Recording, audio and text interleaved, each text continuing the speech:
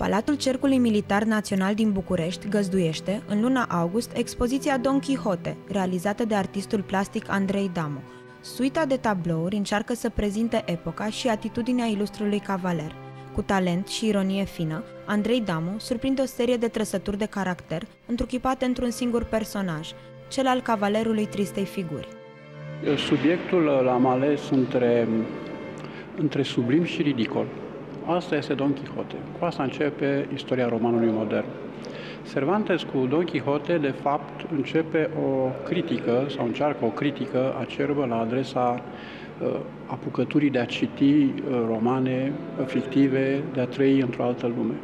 Și atunci Don Quixote și tot demersul ăsta se potrivește foarte bine și pentru epoca noastră. Am încercat să fac o translație între epoca din timpul Cervantes și partea în care trăim noi. Uh, mi-a plăcut foarte mult această întindere între granița Europei de vest și granița Europei de est. Deci tot ce este între aceste două granițe, într-un fel, este o cultură unică care se interferează și se influențează reciproc. Don Quixote, în felul ăsta, apare aproape că este, este mai mult ridicol, ca și în roman. Astfel vom vedea Don Quixote pe bicicletă, Don Quixote pe un dalmațian, Don Quixote cu ochelari, uh, fel de fel de Don Quixoți care totdeauna alunecă între realitate și ficțiune. Văzând amploarea, dimensiunea, complexitatea lucrărilor expuse, vă puteți da seama de extraordinara vigoare și putere de muncă pe care a dovedit-o artistul, reușind în doar un an de zile să umple această sală cu compoziții de asemenea încărcătură emoțională și ideatică. Tema aleasă pentru această expoziție este Don Quixote, nemuritorul cavaler al tristei figuri, al clasicului Miguel de Cervantes Saavedra.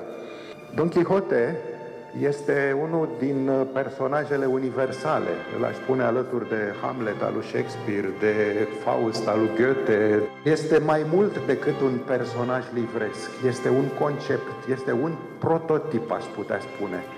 Este tipul uh, celui care caută un ideal, care caută perfecțiunea, eroismul în banalitatea și în prozaicul realității imediate, contemporane.